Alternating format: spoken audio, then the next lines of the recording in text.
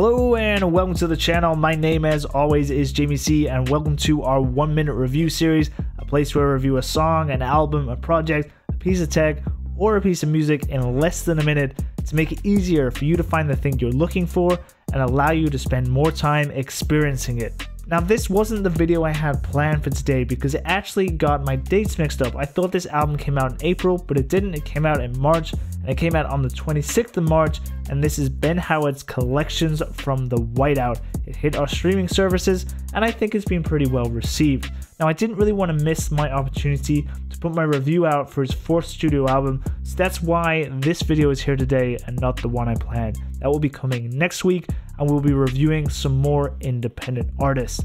Now, remember, before I get into this, let us know in the comments what you think about this album, what you think about this music. Is it good? Is it bad? Also, let us know what you think about what we're doing. If you like it, then please give us a thumbs up. And if you don't like it, give us a thumbs down and let us know in the comments why. Anyway, without further delay, let's get into our one minute review. Collections from the Whiteout is a complex album of 16 tracks some that fans of Ben Howard will find familiar, while others they will not. It's quite paradoxical in the sense of the different songs that are brought together. You have neo folk songs like Metaphysical Cantations and Rookery, where you have other songs that embrace elements of jazz, pop, some distorted and muddy sounds. Songs like Sage She Was Burning is very, very different, and then there's also some electronic sounds thrown in there too. The subject matter is also very different from previous albums that Howard has released. It seems to be less personal than previous albums, which is not a criticism because it's always great when artists reinvent themselves. Howard is a great storyteller and really anything goes with him, but it's a very different perspective than previous albums. It is also very well produced, which is what you would expect. The soundscapes are full, they're balanced, and there is, of course, the familiar melancholic sound of Howard's vocals inherent throughout everything. It is also worthy to note that this album was a collaboration between Howard and Aaron Dessner from The National. Now, if you know anything about Dessner, you know he, he, he touches on experimental elements. And this is why this album is so paradoxical. There is no straight narrative because experimentation takes front and center. So we think you will either love this because of the experimental side and the fact that there's loads of great things to explore and uncover on this album, or it might turn heads of some of Howard's neo folk fans.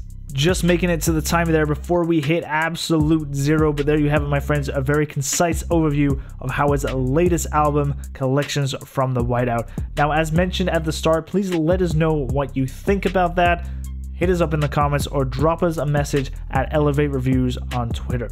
Now, as this is a short video, we thought we would do a review of one of Howard's more famous songs. But before we get into that, if you are a fan of Evanescence, it should be linked somewhere on the screen. We did another video where we reviewed their latest album, The Bitter Truth, so go and check that out.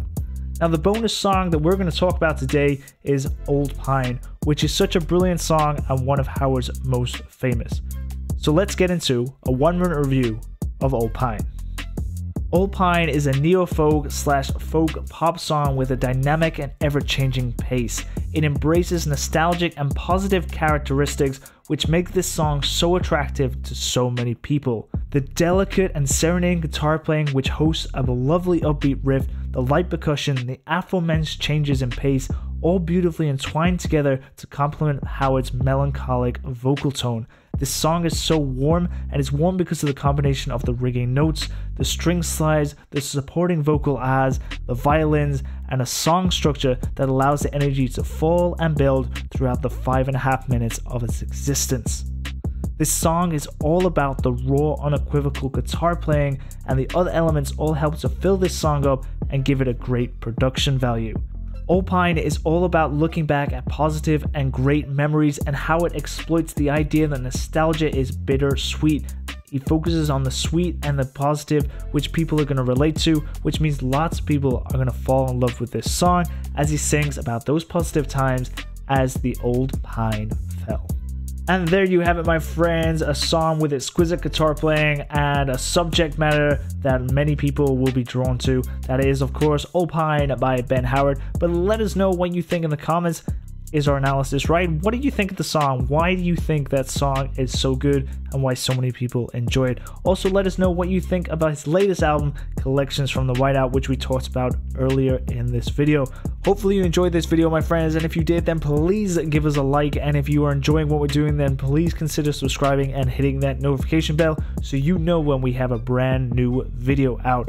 Also, please go and check out that one minute review of Evanescence, which is linked on your screens now, and let us know what you thought of The Bitter Truth.